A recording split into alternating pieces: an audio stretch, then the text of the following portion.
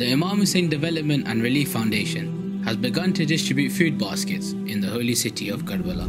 Because of the corona pandemic, millions of people are out of work and are in desperate need of food supplies, especially during the Ramadan season. We at the Imam Hussein Charity have a target of distributing 2,000 food baskets this Ramadan to help with the pandemic. £20 or $25 will allow families to receive rice, eggs, flour, milk, meat, vegetables, tea, dried lemon, and dates to help them last just over a week. Your donations of £20 or $25 will provide 40 iftar meals. The ajr in opening someone's fast is phenomenal. Don't miss out on this good deed. We managed to hit our target last year. Let's do it again. Help us eradicate hunger in the holy city of Karbala.